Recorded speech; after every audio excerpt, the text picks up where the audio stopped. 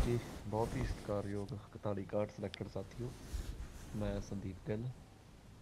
ਸਾਥੀਓ ਕੱਲ ਨੂੰ ਲਗਭਗ ਵੈਸੇ ਤਾਂ ਚਲੋ ਕਾਫੀ ਜੋ ਅੱਜ ਕਾਲਸ ਆਈਆਂ ਨੇਗੀਆਂ। ਦੱਸਿਆ ਵੀ ਆ ਕਿ ਕੱਲ ਨੂੰ ਆਪਣੀ ਯੂਨੀਅਨ ਦਾ ਵਫਦ ਆ ਜਿਹੜਾ ਉਹ ਡਿਪਾਰਟਮੈਂਟ ਜਾ ਰਿਹਾ। ਤੇ ਡਿਪਾਰਟਮੈਂਟ ਤੋਂ ਜੋ ਵੀ ਅਪਡੇਟ ਮਿਲਦੀ ਹੈ ਤੁਹਾਨੂੰ ਨਾਲ ਤੁਹਾਡੇ ਨਾਲ ਸਾਂਝੀ ਕਰ ਦਿੱਤੀ ਜਾਊਗੀ।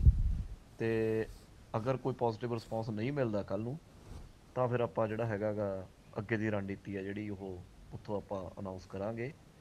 ਸੋ ਇੱਕ ਵਾਰੀ ਫੇਰ ਤੁਹਾਨੂੰ ਮੈਂ ਦੱਸ ਦੇਣਾ ਚਾਹੁੰਦਾ ਕਿ ਕੱਲ ਨੂੰ 4161 ਮਾਸਟਰ ਕੇਡਰ ਯੂਨੀਅਨ ਦਾ ਵਫਦ ਹੈ ਜੋ ਡਿਪਾਰਟਮੈਂਟ ਜਾ ਰਿਹਾ ਹੈ ਆਪਣੀ ਭਰਤੀ ਦੇ ਸੰਬੰਧ ਦੇ ਵਿੱਚ ਵੇਟਿੰਗ ਦੇ ਸੰਬੰਧ ਦੇ ਵਿੱਚ, ਜੋ ਹੋਰ ਵੀ ਆਪਣੇ ਜਿਹੜੇ ਮਸਲੇ ਹੈਗੇ ਨੇ ਉਹਨਾਂ ਦੇ ਸੰਬੰਧ ਦੇ ਵਿੱਚ। ਅਗਰ ਕੋਈ ਪੋਜ਼ਿਟਿਵ ਰਿਸਪਾਂਸ ਨਹੀਂ ਮਿਲਦਾ ਤੇ ਫਿਰ ਆਪਾਂ ਅੱਗੇ ਦੀ ਰਣਨੀਤੀ ਹੈ ਜਿਹੜੀ ਉਹ ਕੱਲ ਨੂੰ ਡਿਪਾਰਟਮੈਂਟ ਤੋਂ ਲਾਈਵ ਹੋ ਕੇ ਤੁਹਾਨੂੰ ਸਾਰਿਆਂ ਨੂੰ ਦੱਸ ਦਿੱਤੀ ਜਾਊਗੀ ਸਾਥੀਓ ਬਹੁਤ ਯੋਗ 4161 ਸਿਲੈਕਟਡ ਸਾਥੀਓ, ਮੈਂ ਸੰਦੀਪ ਗਿੱਲ। ਸਾਥੀਓ ਕੱਲ ਨੂੰ ਲਗਭਗ ਵੈਸੇ ਤਾਂ ਚਲੋ ਕਾਫੀ ਜੋ ਅੱਜ ਕਾਲਸ ਆਈਆਂ ਨੇਗੀਆਂ, ਦੱਸਿਆ ਵੀ ਆ ਕਿ ਕੱਲ ਨੂੰ ਆਪਣੀ ਯੂਨੀਅਨ ਦਾ ਵਫਦ ਆ ਜਿਹੜਾ ਉਹ ਡਿਪਾਰਟਮੈਂਟ ਜਾ ਰਿਹਾ। ਤੇ ਡਿਪਾਰਟਮੈਂਟ ਤੋਂ ਜੋ ਵੀ ਅਪਡੇਟ ਮਿਲਦੀ ਹੈ ਤੁਹਾਨੂੰ ਨਾਲ ਤੁਹਾਡੇ ਨਾਲ ਸਾਂਝੀ ਕਰ ਦਿੱਤੀ ਜਾਊਗੀ। ਤੇ ਅਗਰ ਕੋਈ ਪੋਜ਼ਿਟਿਵ ਰਿਸਪਾਂਸ ਨਹੀਂ ਮਿਲਦਾ ਕੱਲ ਨੂੰ, ਤਾਂ ਫਿਰ ਆਪਾਂ ਜਿਹੜਾ ਹੈਗਾਗਾ ਅੱਗੇ ਦੀ ਰਣਨੀਤੀ ਆ ਜਿਹੜੀ ਉਹ ਉੱਥੋਂ ਆਪਾਂ ਅਨਾਉਂਸ ਕਰਾਂਗੇ।